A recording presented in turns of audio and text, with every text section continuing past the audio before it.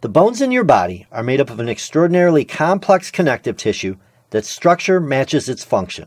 It is comprised of cells, fibers, and extracellular material or matrix. Let's start by looking at a diagram of bone tissue. There are two main types of bone tissue compact bone and cancellous or spongy bone. Compact bone surrounds the spongy bone tissue and it has a unique appearance. These cylinder shaped structures are called osteons or Haversian systems. In the middle of these osteons is a central Haversian canal that runs lengthwise through the bone and it houses nerves and blood vessels that supply the bone with nutrients. The cylinder shaped layers of the osteons are called concentric lamellae.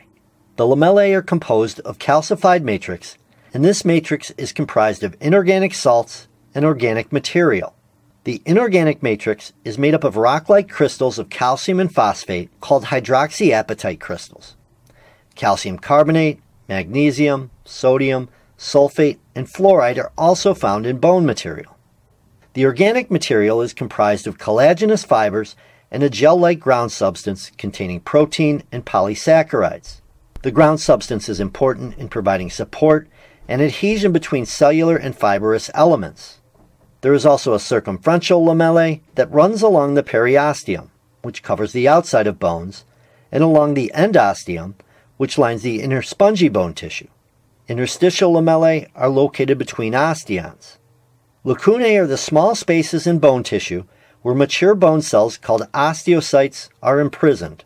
These cells are responsible for maintaining the bone matrix. Canaliculi are small canals that extend in many directions from the lacunae, connecting to other lacunae in the central canal.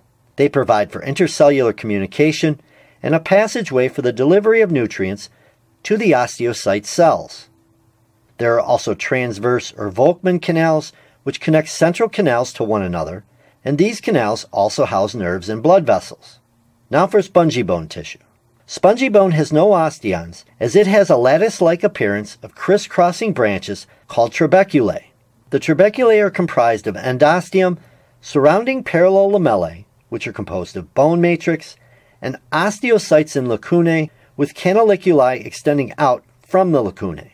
Some of the canaliculi open onto the surface of the trabeculae. Like in compact bone tissue, the canaliculi provide a passageway for nutrients to reach the osteocyte cells. The formation or lattice like look of spongy bone allows it to distribute any stress or pressure applied to it throughout the entire framework.